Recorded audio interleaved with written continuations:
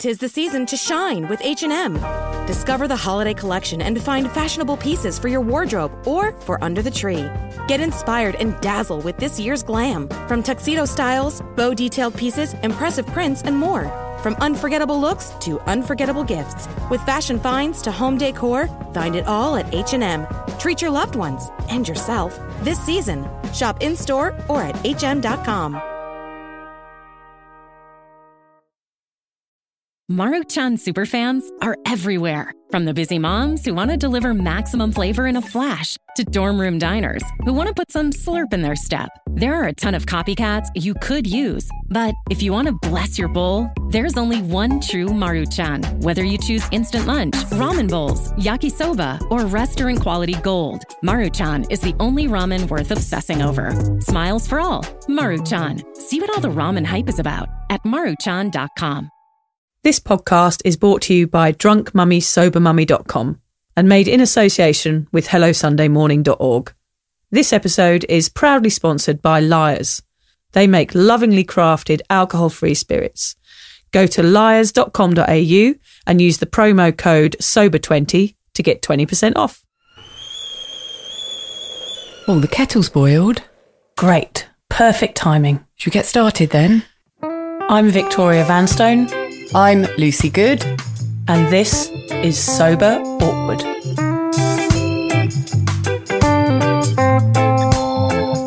Right, Lucy, over to you. Thanks, Vic. So, whatever stage you're at on your sober journey, and Vic and I are at completely different stages, you'll know that life without booze can at times feel, what do you reckon? Awkward. Lucy and I invite you to listen to our podcast where we discuss the realities of sobriety the good, the bad, the ugly, and the cringingly embarrassing. Our honest and open chats will help you discover what it really means to be sober. Yes, we're here like a dodgy bottle of port from your nan's drink cabinet to take the edge off sobriety. And together we can learn how to feel the awkward and do it anyway.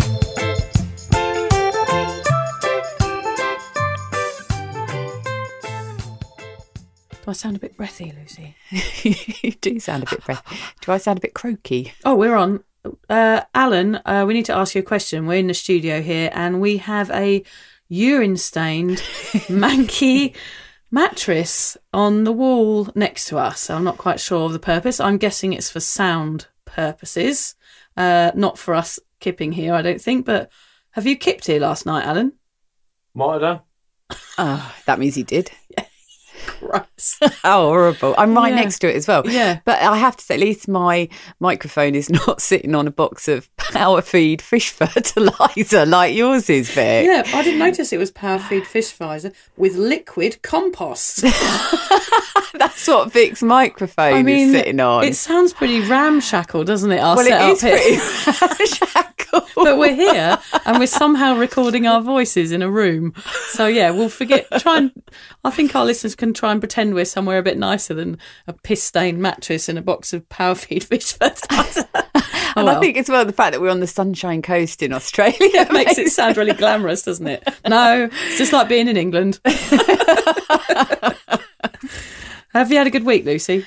I've had a good week, thanks, Vic. Yeah, pretty, um, yeah, pretty good, nice and balanced. Felt pretty chilled out all week.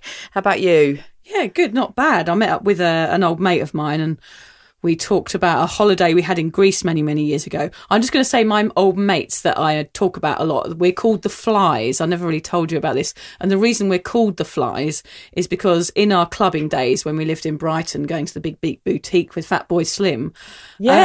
um, yeah, those were the days. We were called the Flies because if anyone had any recreational drugs, we suddenly appeared like flies round shit to try and get a free whatever it was. Nothing like a few recreational drugs to bring out the back greed in the mid in nineties. yeah, I mean, yeah, that's kind of. yeah, I think that stemmed from my drinking. I think my uh, I think my mind lapsed often and I Yes. was was easily led. But anyway, that's a whole other story. I love that name, actually. It's cool. Yes, so the flies, I talk about them a lot. They're my my old mates from Brighton, and we're still friends to this day. And we were talking about this crazy holiday we had in Greece, where you know you had snogging competitions. It was just debaucherous. It was just bars. I remember being sick on some girl's leg one night.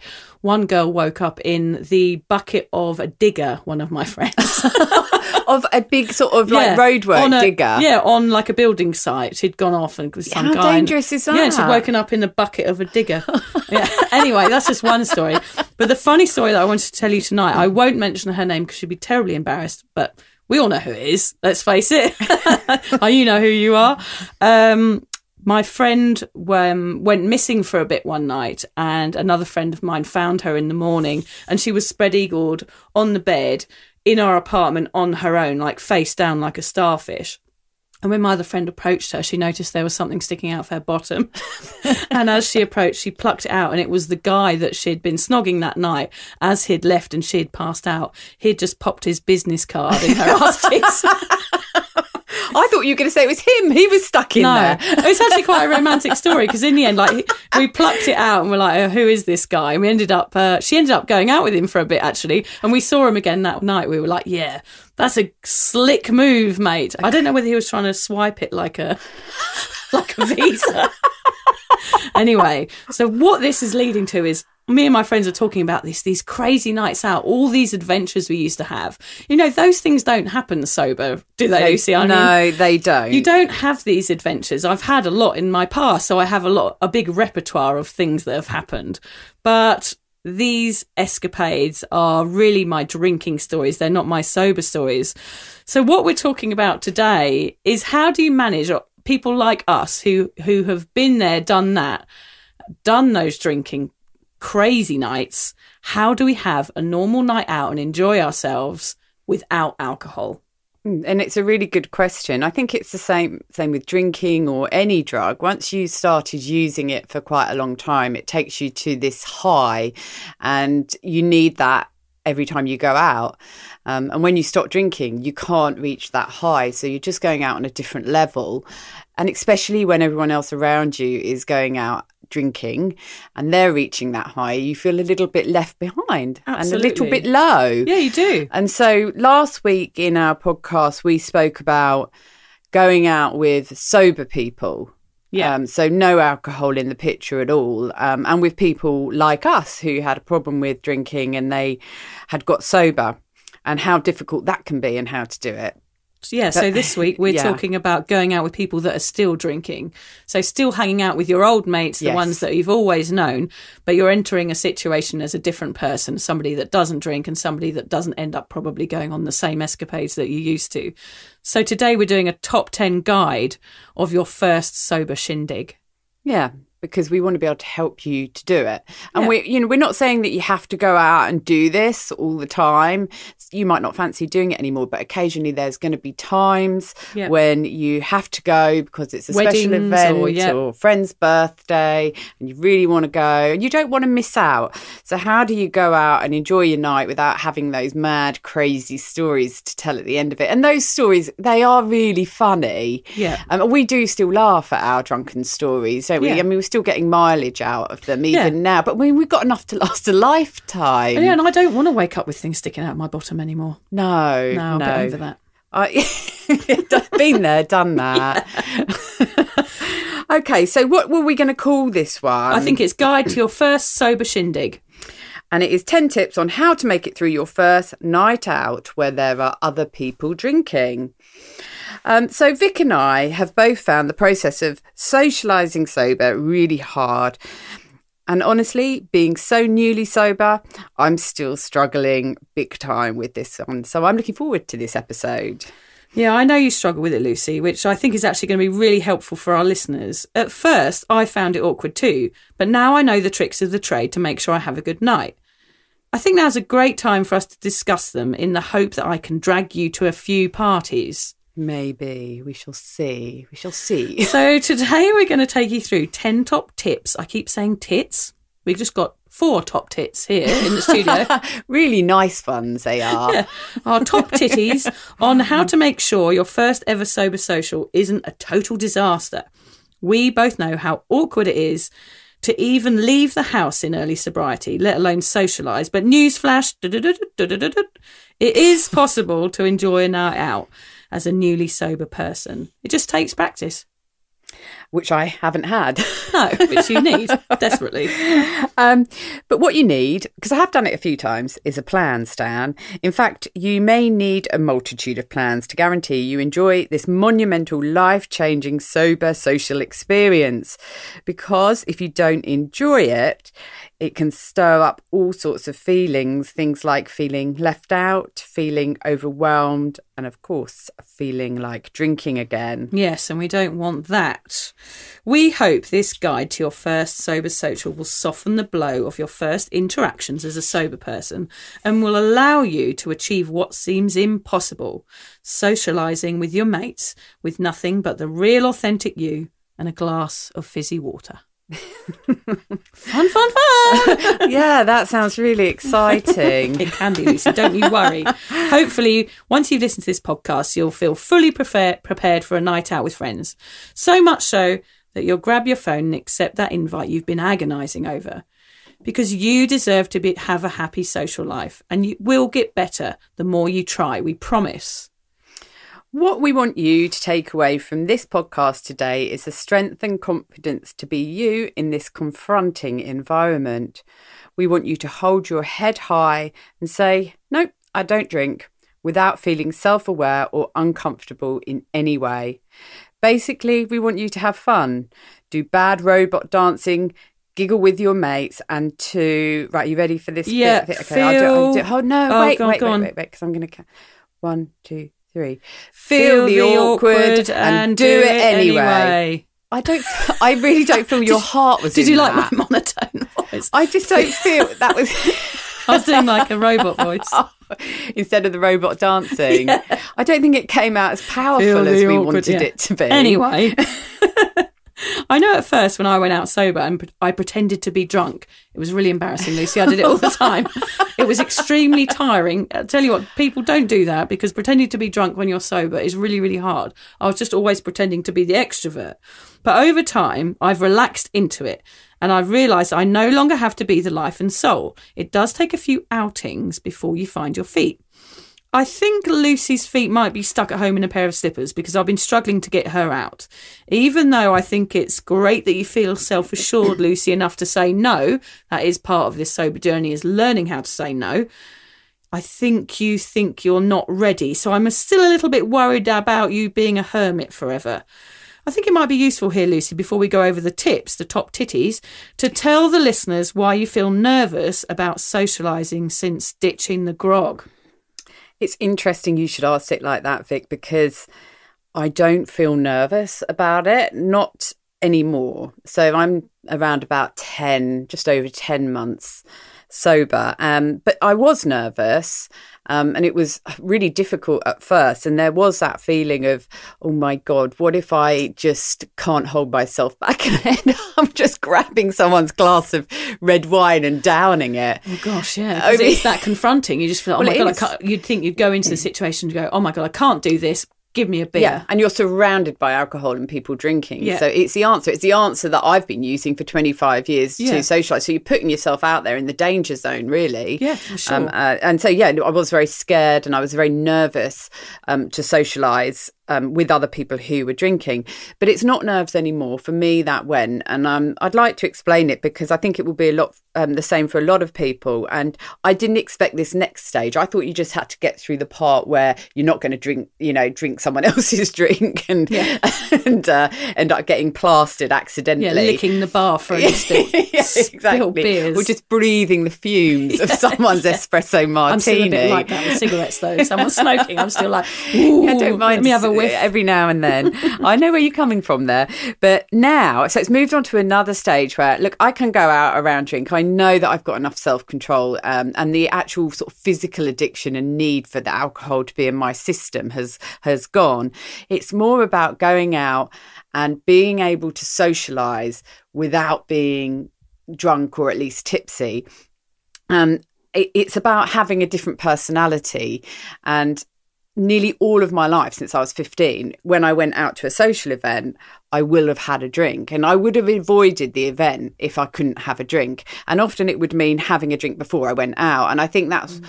you know, that is sort of a bit of a red flag that your drinking's out of control when you need a drink to get out the door. And I was like that for many years. So it was more about, for me at the moment, it's definitely more about teaching an old dog new tricks. Yeah. I have been socializing with alcohol for so long that I don't know how to socialize sober. And it is, it's a fact that our brains are are um, set up in a different way if we've been socializing whilst drinking. We have to change the pathways in our brain. It's like learning a new language. Yeah so there is that thing called neuroplasticity isn't yeah. there? That you it means that your brain is capable of changing and evolving yeah. and, and you you know that and the brain does have to change to be able to socialize sober. And so that's why it can be so difficult to get out the door. Um, i've my my two main reasons for drinking looking back because i've now got the clarity to work it out with shyness and sadness. Mm. and shyness was something that really made me have to have a drink. It, t- uh, it it turned my introvert personality into an extrovert. And now because i don't drink i'm back to being an introvert. I've got two choices here. I can go back to the drink and go out or i can relearn everything and go out. And it's just exhausting to yeah. relearn everything. And sometimes i wonder if i really want to do that yeah. So that's probably a lot of the reason why mm. I don't want to go out. And just a final point on that as well, and it's something that you've mentioned, Vic, which really resonated with me, which is the lights too bright. Mm. When you go out sober, especially with people who are drinking, it's like somebody's shining a light on your face, and ev- you're really sensitive to everything. You can feel everything, all those things that you were able to mask before yeah. with a few gulps of alcohol.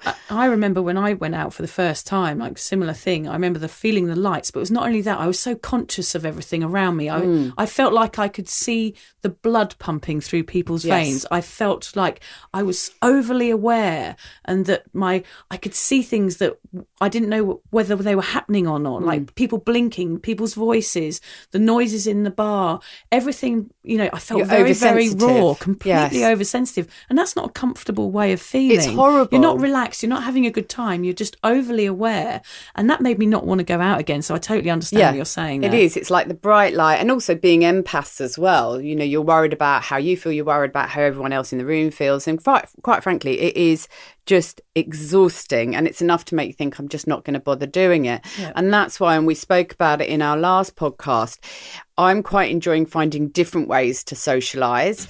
Um, to me, going out to a bar and all you're doing is socializing is quite a weird thing. Mm. You know, you're mm. just going there to talk to other people. It's quite confronting, really. No wonder we needed a drink to do it.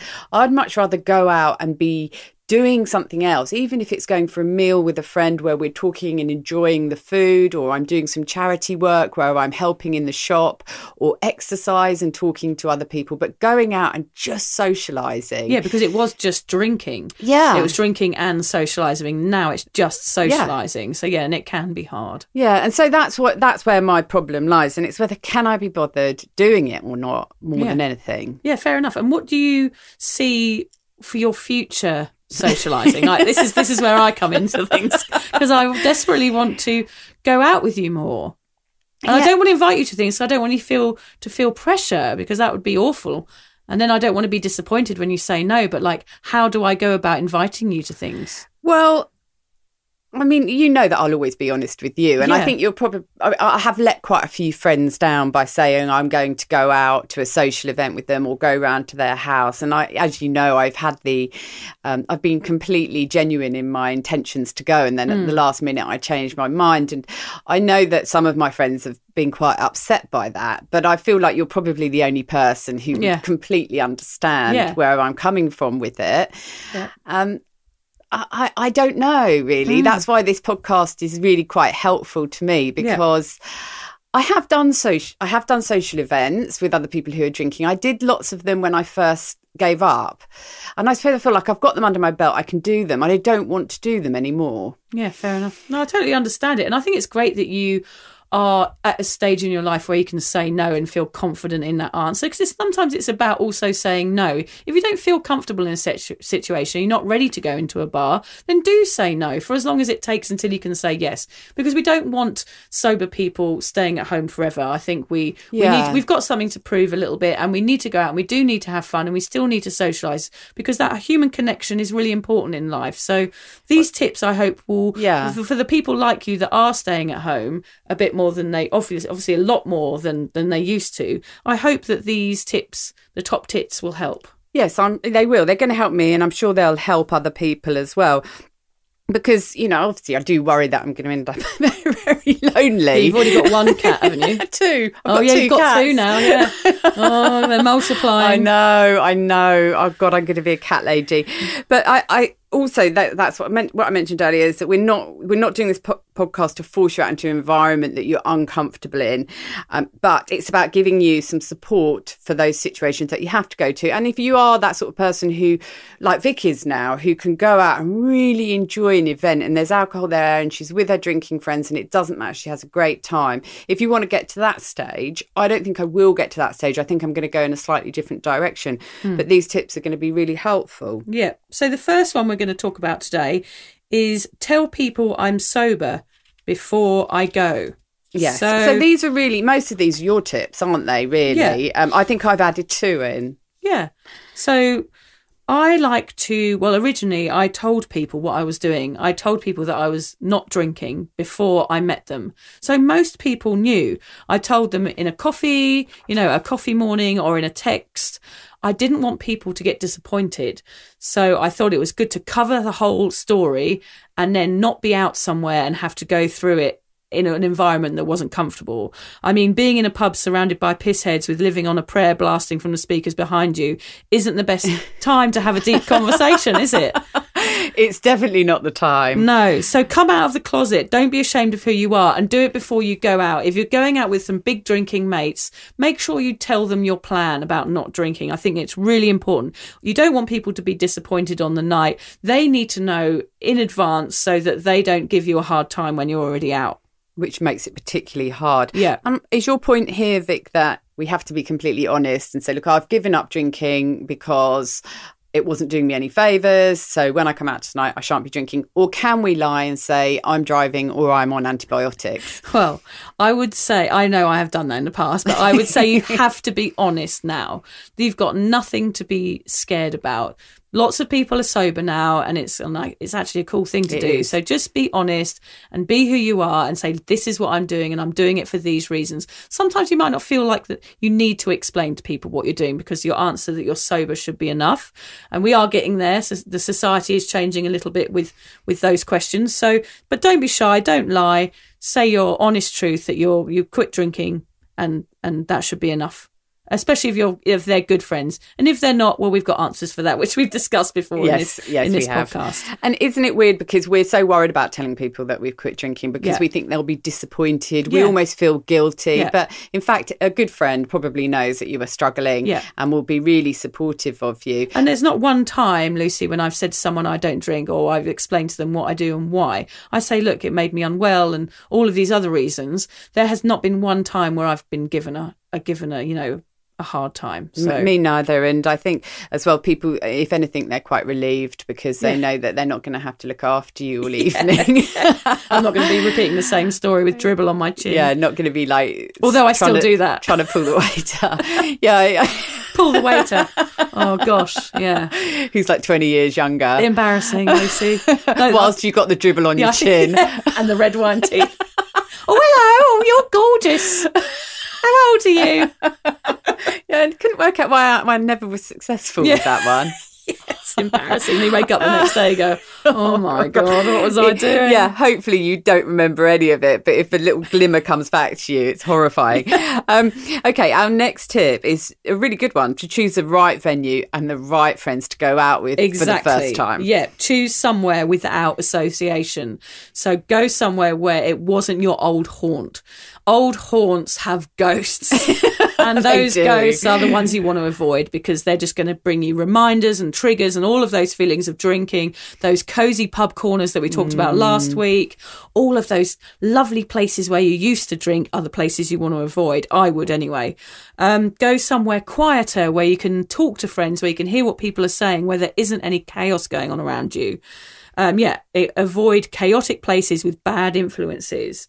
Um, choose the right friends to go out with. Make sure it's supportive people, especially in these first outings. Maybe along the line, you can go out with the more kind of messier group and once your confidence built. But for now, choose the friends that you know are going to be kind to you and make sure that you're safe. Um, go somewhere near a bus stop because if you get fed up, you want to jump on the bus.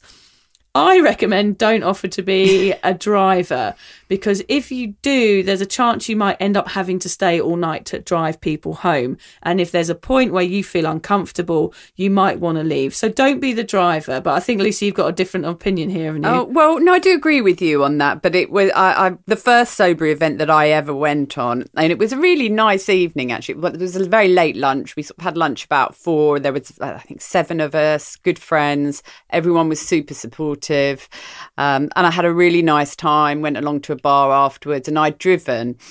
And I was really hoping to be able to give somebody a lift home Yeah. because I felt that for once, Yeah. just for once in all these years, I was the responsible one. Yeah. And I wasn't even the person who had had like one and a half drinks and was like, Am I going to be okay? I was completely sober and I was in the perfect position. But everyone was partying on and getting louder and louder. And so I sort of thought, Oh, okay, I'm going to go now. And so I announced to the people who were still coherent that I was leaving. And then one of my friends piped up and said, Oh, you couldn't drop me home on the way, could you? Score. Yeah, my moment has come. Oh. I couldn't be to give someone a lift.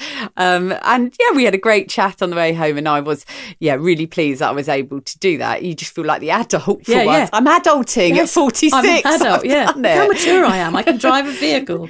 Yeah, look, I had Without a police car behind me actually about Yeah. two days ago. And I'm thinking, please stop me, please stop me. Sad, isn't it? it is. But no, I actually agree with your advice. Drive by all means, Yes, but drive. don't offer to be the driver, which means you've got to stay around. Yeah, because there there might be points where you want to do a runner. Yeah. A good point is avoid festivals, music festivals for a while.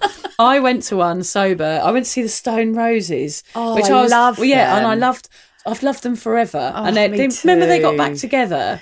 And I was Yeah. like, oh my god, this is the gig of a lifetime. Yeah. And I was so nervous. I don't know why, because I wasn't drinking. It was one of my first non drinking events. I wasn't drinking. Everybody was off their tits around me. And actually, I just felt kind of jealous in a way mm. because I just felt like everybody else was having the night of their life and I just, the, the, the night of their life. And I was just this kind of square bopping up and down, not really into it. It was cold. It was muddy. I couldn't go to the toilet because everyone else was peeing all over the place, and there was nowhere f- clean to me for you. And to you use. usually Yeah. you wouldn't worry about I that. wouldn't have you worried about drunk, that no. before, but everything about a festival environment for me used to be about getting off my nut and shitting in a bush. and sitting in a bush. And now all of a sudden I'm this prim and proper person Yes. holding two bottles of fizzy water because I couldn't be bothered to queue for the bar again. And I just looked like a total dork. Anyway, But that I would- didn't enjoy it. And I think as well that would be really hard because I mean my memory of the Stone Roses were first around when we were we must have been in our um, late teens, Yeah. early twenties, so really really deep into the drinking days. So even I listen to the Stone Roses a lot in my car. I just love them; they're timeless, but they Hmm. really do take me back and remind me of those drinking days. So you were very brave going to that concert. I was brave and I regret it now, but actually that was quite early on in my sobriety. I think now I I, would do say, okay, yeah. but I'd probably go, I'd rather probably go to an opera or something. an opera. I was going to say, well, I thought you could say, "Oh, and I'll take a little like tw- a little uh, potty with me in case I need the toilet. I actually got a mate who wears nappies to festivals. You are joking. no, she goes, she puts an adult nappy on, she can't That- be bothered. that's awful. Oh, That's the that's sort of people I hang around with. No, because I, I do remember once going to a concert and taking my daughter when my kids were young, and it had, um, you know, do you- I don't know if you ever saw them. They were like potties, but they folded up, and Yeah. you put a little sort of carrier bag in there to catch it, and then you could Did just you throw it it, away. I took it with me. I never ended up using it because I was still it as an drinking. I probably end. just went in the bush. yeah, I was wearing it on my head or something. But Yeah. Wearing an adult nappy, oh, hmm. that's even worse. I'm wearing You- one now, Lucy. Oh. I wondered what the stench was. Too much. Adult nappies, where are we going? Yeah, start again. Right. Yeah, so don't go to yeah. Stone Roses concert. Avoid, so we go a bit off on one. Sorry, listeners. Always ends up with some dirty story, doesn't it? Avoid festivals. Avoid, uh, yeah, German beer festivals and wineries, things like that that are just really boozy for your first social thing is not a good idea. So yeah, baby steps. Anything based around getting off your noggin is not a good idea. What was your latest public social disaster, Lucy? Oh well, the yeah, because I when we first started doing this podcast, I was saying to everyone that I was going to a really good friend's birthday, Yeah. and um, I was going to go. I wasn't going to let her down, and in the end, I did let her down. But yeah, what what my problem was, um, and it's really relevant to this one, which is choosing the right venue. Um, what I was going to go, everything was fine. Earlier on the day um, that that it was happening, I went and had a look at the venue and the the menu, and I realised it was The venue menu? a venue menu. Oh, yeah. the venue and the menu, and I realised it was more of a a bar venue than a restaurant. Oh, I remember this, and yeah. that was my first red flag of of choose of finding things excuses not to go. Yeah. Um, apparently, it's much it's very restaurant like, and they told me um, that I should have gone and it would have been fine, and I'm sure it would have been. They're all very lovely, but. Yeah, so that right venue is really important. Yeah, somewhere Looking with and- no yeah association like looking that. and seeing that it's a uh, going to a bar is a lot harder than going to a restaurant. Yeah. and I like a restaurant setup as well because if they decide to have a um an, an, an after dinner cocktail or something, you can have a coffee. Hmm. You know, you can't do that as easily in the bar, or you can order a dessert and you don't stand out. I mean, you can't sit in a busy bar and order an ice cream ice cream sundae. I don't know, Lucy. I've done it. I've done I it. have. Well, I do have my peppermint teas in the bar sometimes. Yes. Oh, well, we've done that. We We've have done that, yeah. peppermint tea. But you do you fit you you want to fit in. So anything that's going to draw attention to you is difficult. So Yeah. that I love the point of it being the right venue and the right friends. That leads on to our next one, actually, which is be prepared. Number three. Yes. Um, think about what you want to drink before you go. Like, look at the menu online, which is exactly what Lucy was just talking about. If it's a dinner, then BYO. But then you've got other situations like house parties and weddings and all things like that. So bring your own stash of alcohol free drinks. I mean, that's a really good idea. Have a, you know, an esky filled up with stuff that you want to drink. So there's no question Can of you you really get a about it. whole esky full of alcohol-free Yeah, drinks? I'm sure you can. Of course, we've still got the uh, the Lyre's promo going at the moment. So yeah, if you, Yeah. if you want to take any BYO, bring something by Lyre's. The promo code is sober twenty. Today, me and Lucy are here sitting sipping on the spiced cane spirit, which is lovely. Yeah, I like that So one. yeah, anything by Lyre's is good, isn't it? With mixers and stuff is amazing. You can just put that code into lyres.com.au. And I'll just say as well, I like the idea of it as well because they do look like alcoholic drinks. Yeah. So you're not going to be, you're not going to start to talking about fitting in again. Yeah, so take mixers and sparklers and parrots on sticks if you want to drink if you want your drink to feel more special. It is sometimes just about having that treat so that you do feel like you fit in and feel accepted by your friends. Ice and a slice makes me happy, Lucy. you're easily pleased. There's no you, pins Vic? in there, but something that makes me feel special, a sparkler, anything that makes me feel like I'm having something like a treat, it makes me feel happier in those situations. Yeah, and you mentioned about the menu online as well, and I know it almost sounds. I mean, I would never ever have looked at a menu online before I went out. Wouldn't even have crossed my mind until I got sober. But another reason I quite like to do it is you have to put quite a lot of energy into these events. I mean, we always say it's exhausting, don't is we? exhausting. Even going to a sober group event where you you come out and your face hurts from Yeah. smiling so much. Yeah, but at least It it's from smiling. so- It's yes, your it face is. doesn't hurt from frowning. No. which is good. Why have I got all these frown lines? Although after then? this podcast, my face hurts from frowning. Looking at you for so What are you going to say from laughing? um, laughing. But no, they, it is exhausting these events, going out and being sober, and you've got so many things going on in your head. You've got all the mantras that you need, and all the all the things you have to remember, and, and the effort that you're taking to socialise and to stay sober.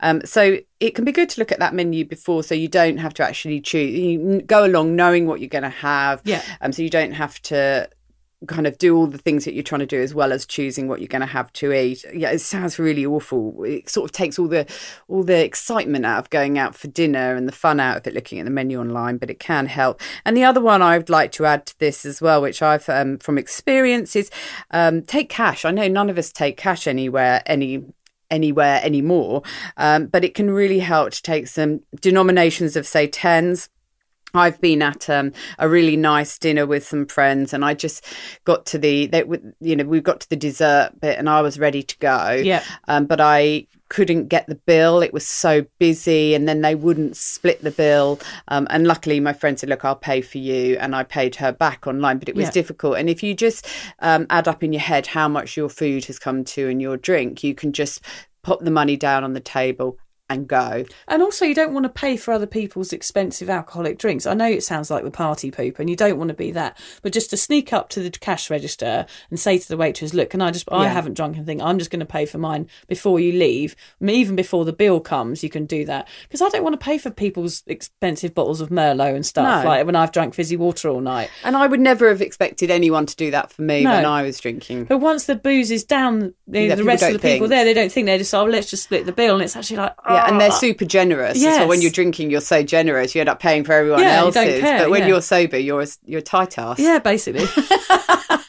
A boring tight ass. Um, now I've got one here as well, um, and again something that was really relevant to me, which I hope might help others. But if you have struggled in the past, like I have, know what your red flags are, um, and what are the things that are stopping you from going. So um, for me, I've worked out that I'll have good intentions to go, but then as the time comes nearer to going, I'll find excuses. One excuse is not enough to stop me going, but the next excuse, I'm like, okay, I I don't think I can do this event because this has happened and that's happened. And then the third thing, which, and I will find the excuse, and I've got myself the excuse and I can back out. So I have to just say to myself, I'm not going to let those excuses get in my way. Um, I, I have to make sure that the venue is definitely something that I'm going to be happy with. That's a really important one for me. So they're kind of my red flags the venue um, and trying to find those excuses not to go. Um, work out what it is that's stopping you want to go. You know sometimes there might be someone who's going. There's someone in the group who is quite intimidating mm-hmm.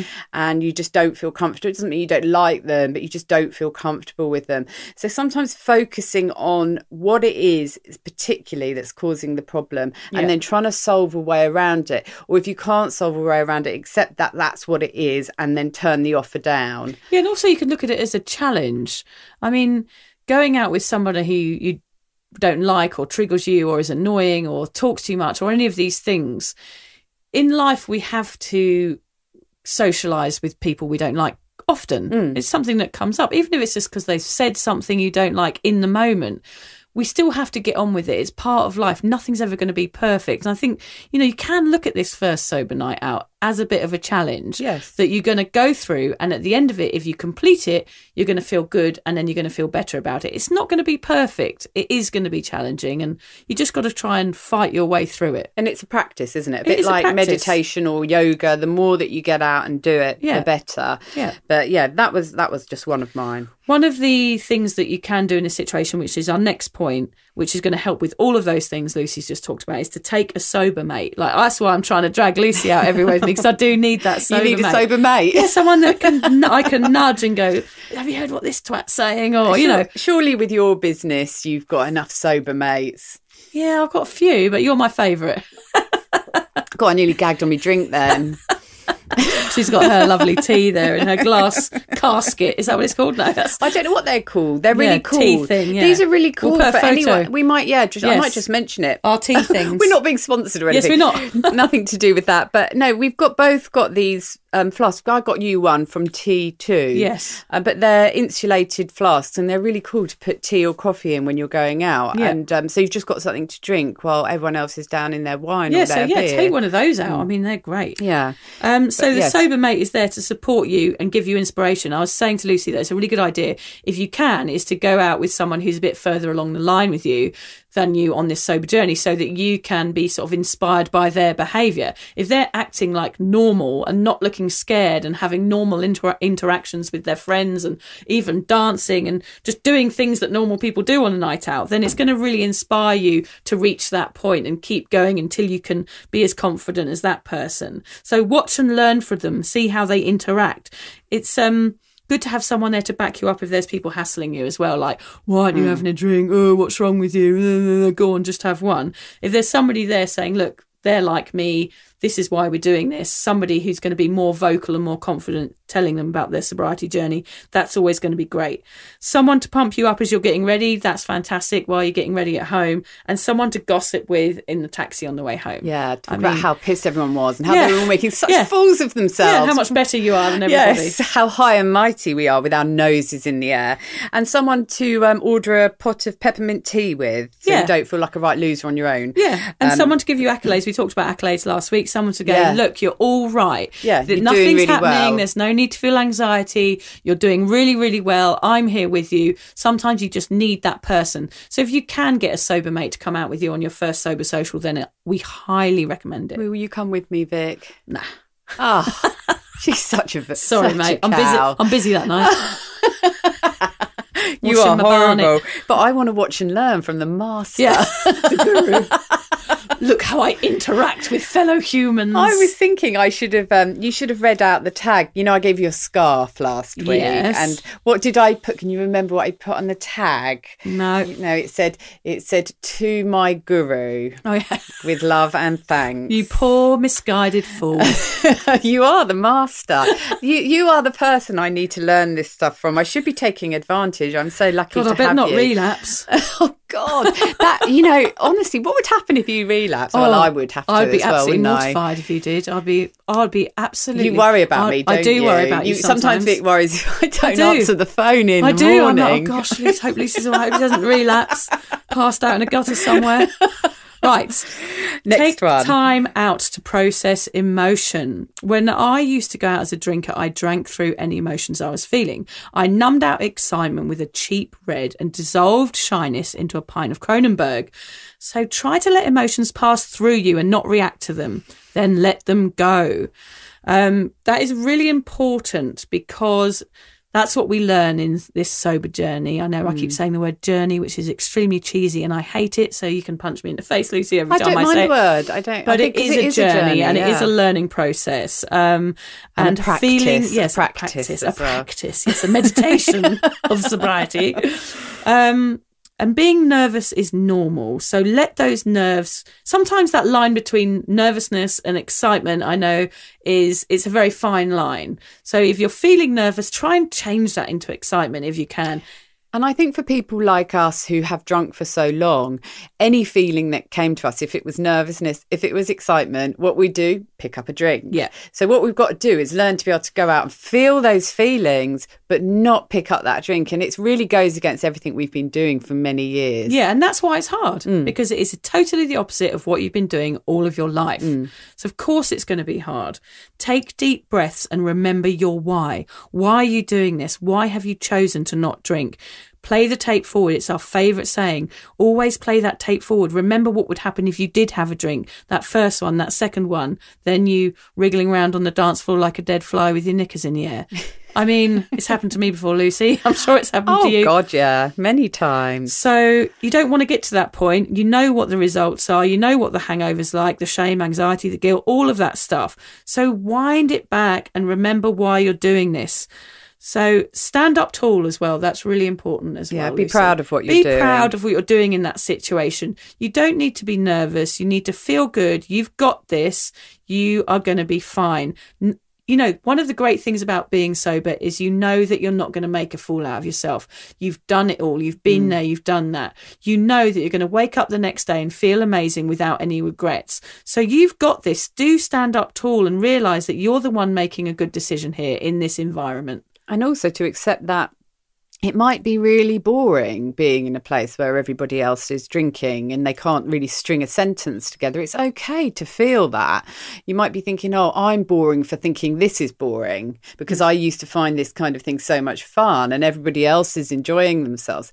It's quite normal if you're in a room of people who are drinking to be bored senseless and you don't want to listen to the shit that's coming out of their mouths.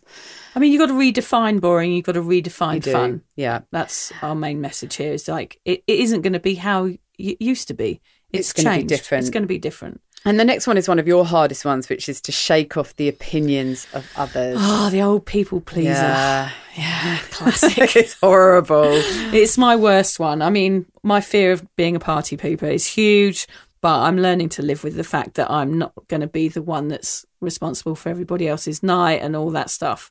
I have no control over what people think. I need to stop trying to imagine what they're thinking because I can't see inside someone's brain, unfortunately, even though I would love to.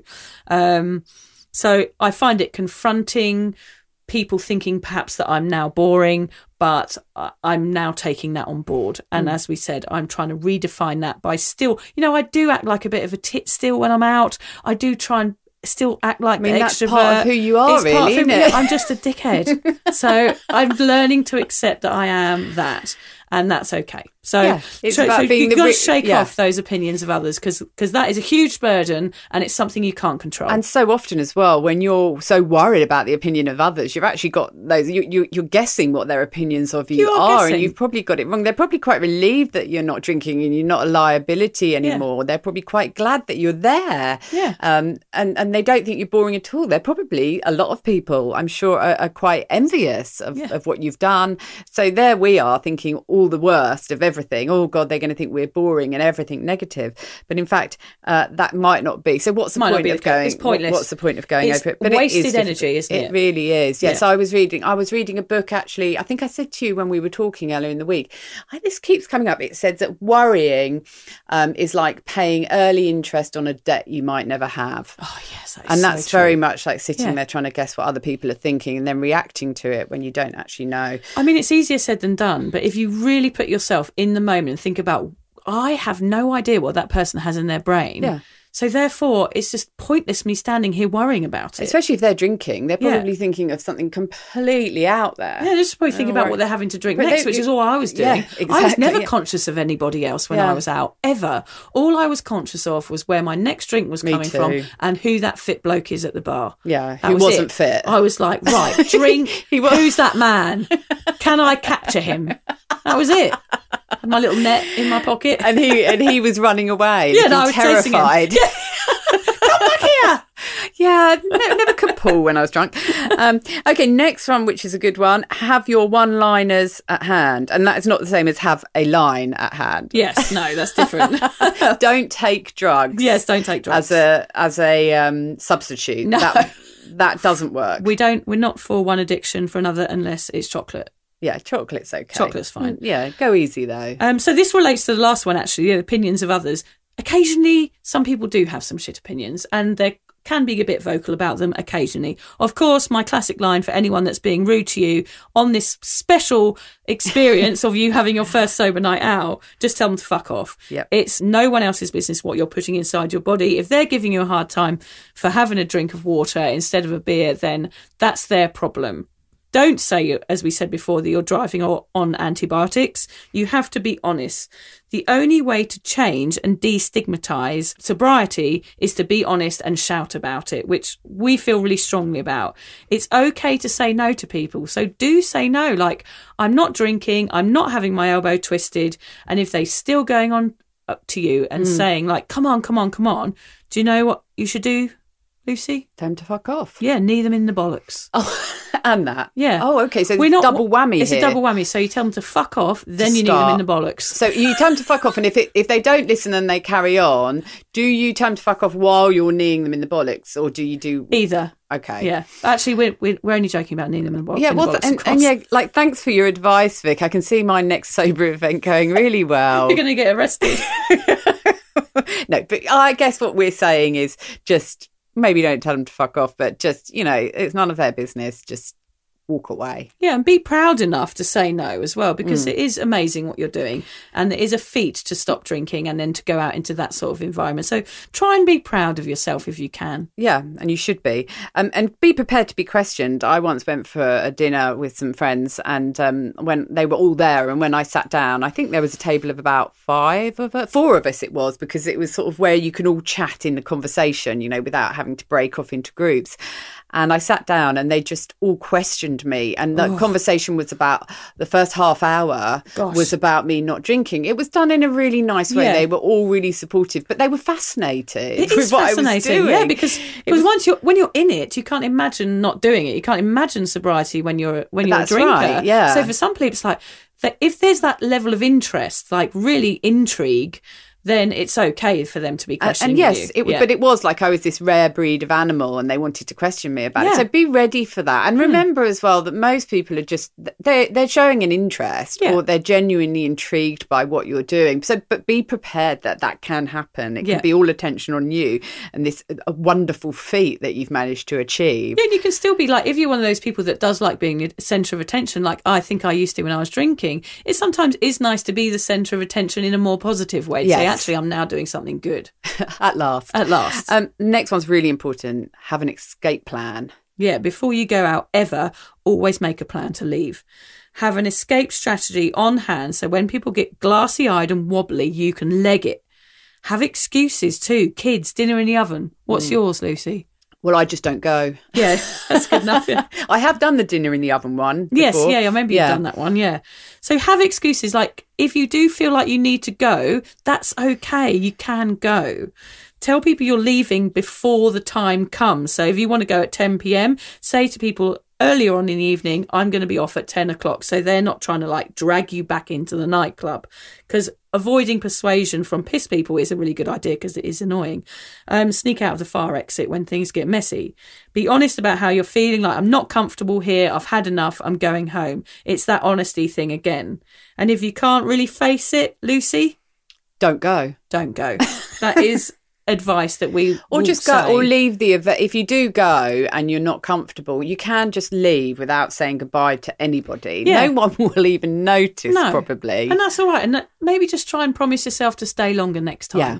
And it, it is a hard thing to do, this sober socialising thing. So don't beat Hmm. yourself up if you don't finish the night off or end up, you know, doing karaoke at two o'clock in the morning. It's a really, fine. yeah, it's a really hard thing to do. Just, just uh, sort of getting yourself ready, getting yourself out the door, and walking in is a hard thing to do. So Yeah. even if you get in there and you stay half an hour, you've done something Yeah. amazing. and Don't say ever- next time I'm going to say Yeah. 45 minutes, I'm going to say two hours, and then just keep Yeah. keep at it. And don't feel like a failure if you decide to leave early because you've done an amazing thing by going. Um, got one more. Um, oh, this is my one. Have something to look forward to. Yeah, good one. Um, I always like to have something. My dad always says you've got to have something to look forward to, Lucy. So maybe think to yourself, and I've done this before. I've uh, stopped for a nice ice cream on the way home. Yeah. Um, and um, or you can get home, make yourself a big hot chocolate, and sit down to watch a movie. Uh, or what I love doing is plan something for the following morning, which usually the following morning would be completely wiped out. The following morning, I mean, the following two weeks for me is Gosh, usually yeah. wiped out from a big The night out. down, yeah. yeah. But um, yeah, you can have a different type of reward instead of alcohol. What would you have, Vic? What would your reward be to yourself after a night out? um, sex. Oh, with who? No, I'm joking. It's not really. Don't do that anymore. I've been married for 10 years. That's the last thing on my mind with three children running You surprised me with that Yeah, answer. no. I thought it was going to be something to do with food. Something spicy. oh, I do like a muffin. Mm. Do you? Yeah. muffin and a cup of tea. Well, yeah, muffin in a cup of tea. A piece of cake. I know it sounds Yeah. really cheesy Well, yeah, English. no, I like a piece of cake as yeah, well. a cup of tea and a slice of cake. If I can look forward to that. I mean, when I come home after a night out, I do feel quite wired, so I can't go Yes, straight to me bed. too, yeah. So, like, just to sit down, sort of have a different type of come down where I sit down, have a cup of tea, have a chat with my husband, say what I've been doing, and then look forward to the next morning. Yeah. Have a nice breakfast. What are we going to do tomorrow? Just having a plan for the next day is enough for me to be like, feel like I'm having a treat. Just not having a hangover for me Mm. is enough. Like to think about those days. I mean, there was over a thousand of them. I've worked it out in 25 years. That's what my Mm. book title is, A Thousand Wasted Sundays. Is I, you know, I spent so much time feeling fear, anxiety, self hatred, and dread, and all of these feelings. Not having enough, not having a hangover now is enough for me to never ever drink again. Mm. Yes. Because I suffered so much with those hangovers, Lucy. It was awful. Yeah, me I mean, my mental state was completely, you know, I felt like a lot of the time I wanted to call up the local hospital Yep. and say, can you take me in because I am mentally unwell? And all of that was because of drinking. Yeah. And for me now to just look forward to a Sunday with my family, just chilling out, doing nothing is enough. It is so simple, isn't it? Yeah. And those feelings of anxiety um, and everything, that comes even before you go out because you know, even before you leave the house to go out, that you're going to end up with this horrendous hangover, but you still can't stop yourself drinking heavily. Yeah. Uh, it's just awful. Yeah. So, uh, uh, he's wonderful. Even this morning, because it's Sunday evening now, isn't it? This morning I woke up and um, I was a bit tired because my 18 year old daughter did phone me up at 2 2.30 this morning to tell me that there was a long queue at the taxi rank. She'd been out clubbing. What? And can you lift, give her a lift Yeah. home? I said no. I had a firm chat with her this morning. I said, yes, I have my phone by me when you go out in case there's an emergency. There being a long queue at the taxi rank is not one. But the, the thing is, though, Vic, I hadn't been drinking. If I Yes. had been drinking and she'd phoned me, my heart would have been pounding. I wouldn't have got back to sleep. I would have had a hangover brewing ready for the next morning. But I managed to get back to sleep once I heard her come in and I had a few decent hours sleep and I woke up and it's like, well, sometimes we message each other and go, oh, it's just another another wonderful day. Yeah, I did text. I did text Lucy yesterday with a, a video of my kids dancing on the table to to actually it was Gusto Disco Revenge for any early cool. nineties house fans. Um, yeah, and then Lucy sent me a photo back of what she was doing at the same time, which was putting all the pasta in her cupboard in order.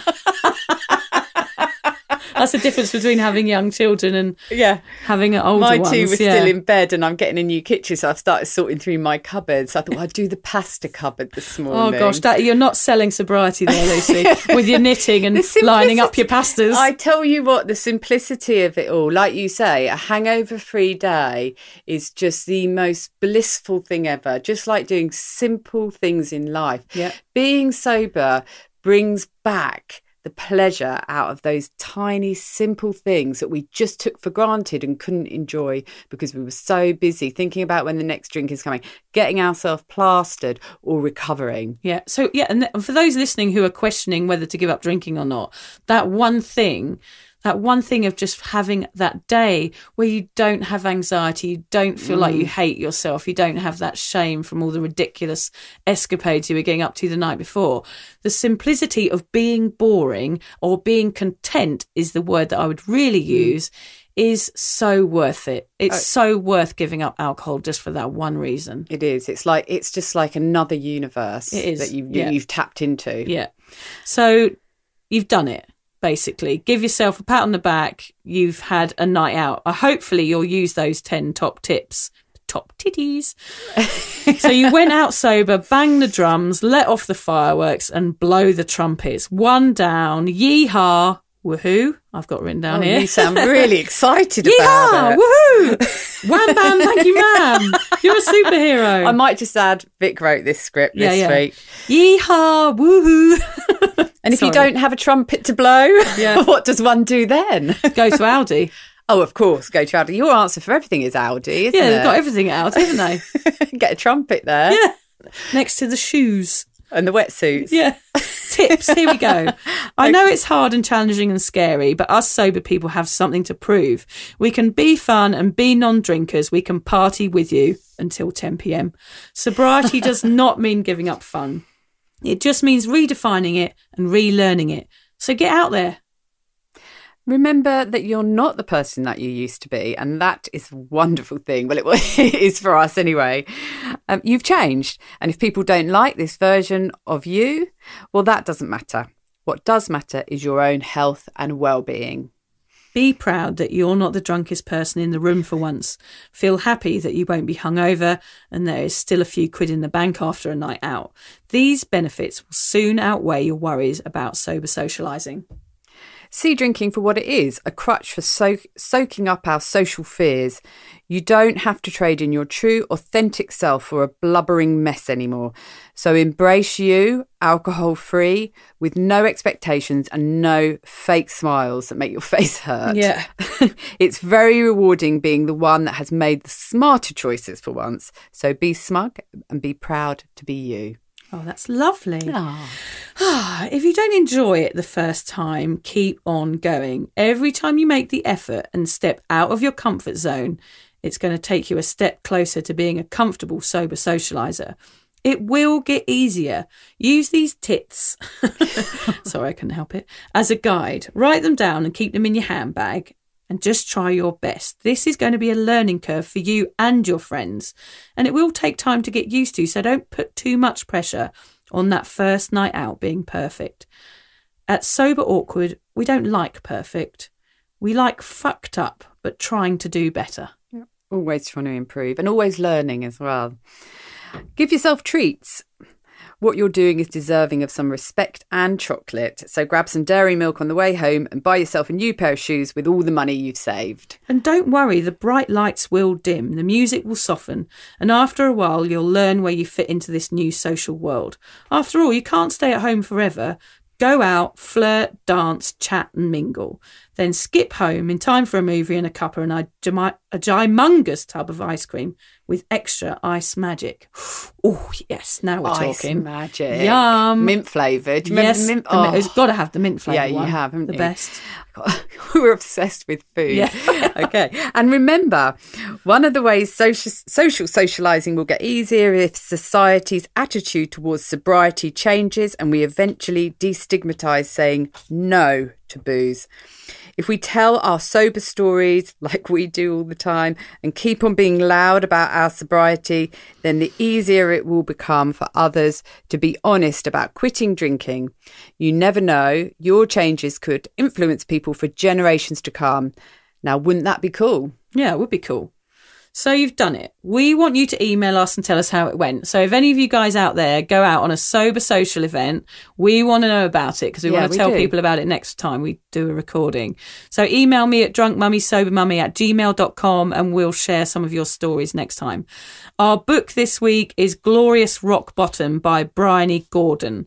Bryony Gordon is a respected journalist and number one selling author and award winning mental health campaign, uh, campaigner. She is also an alcoholic. I read that book. It is really funny and really inspiring. So, really recommend that one, guys. I haven't got a quote, Lucy. I Couldn't be asked. Sometimes I get a bit bored of quotes. Yeah, My I know. one is one with us with a with an ocean. It's this beautiful picture, and all it says at the top is "I love onion rings." That's my that- kind of that's quote. your quote then, yeah, isn't it? I That's love onion done. rings. There you go. Well, I know, and sometimes, yeah, I don't know. Sometimes the quotes just they don't really work for me. Sometimes I need a bit of inspiration, so I tap into Google sober quotes, and Oh, yeah. just all the drinking. It all comes up about drinking. It's like it's just not work. Oh yeah, it's those 1950s mums wine Yes. time things. Yeah, always. yeah, so yeah, thank you everybody for listening, and hopefully next time we're going to talk about the benefits of sobriety, aren't we, Lucy? Yeah, we're going to talk about all well, and also the sort of unexpected things, things because we know a lot of people know the obvious, but there are a lot of things that happen along the way that are really, really cool. So we're going to talk about those. Yeah, we're going to do a positive one because I think the one after that we might be a bit do a bit of a dark yeah, go a bit one. darker a and deeper. dark, yes, But if anyone's got any suggestions for podcast ideas, if there, I mean, we've got so many topics ahead of us and so many ideas to cover. But if there's anything that you really want to hear us talk about, yeah, just just uh, email Vic at drunkmummysobermummy yeah, at gmail.com. at gmail.com. Yeah. And um, yeah, and we, we certainly take on board and we love to get some feedback. Yeah, and we like to uh, be able to uh, be the front running wellness podcast that advises people to buy trumpets and tell people to fuck off and knee them in the bollocks. Exactly. I think we're providing really useful advice. Yeah, here. I hope there's no real intellectuals listening to this. Sorry if you are, because this probably isn't the kind of space that you're enjoying with us swearing and I don't know, talking about booze all the time. Our terrible And being stories. smug and sober. Yeah, we're the worst. I don't want to hang out with us at all. I hate us. I hate us as well. Come on, let's go.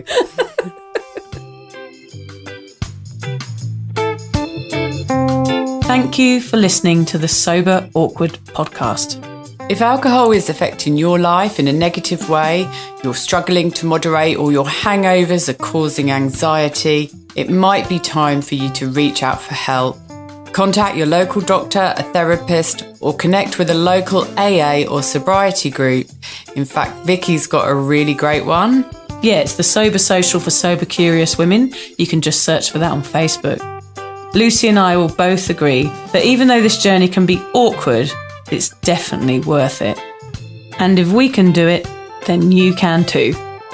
For more support around sobriety, head to my website, drunkmummysobermummy.com. And Lucy runs an online space to support and inspire single mums.